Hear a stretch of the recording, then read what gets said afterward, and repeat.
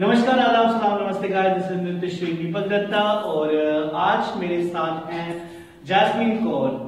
Jasmine Kaur हमारे ही school की एक मेधावी छात्रा है and she is doing very well in dance field also and her forte is Punjabi dance bhangra and recently in a dance championship organised by national dance sports championship 2017 and 18 uh, organized by Dance Sport Council of India and uh, she got a second prize in a duet dance category. Also she won a silver medal in it.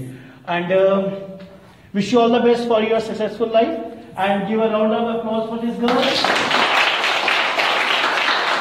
I just want to say, I just want to say all the students that uh, if you have a caliber, if you have a potential, and if you have a guts to face the audience, just go learn and prove yourself that you can be a good dancer. Okay? Yes, sir. Very.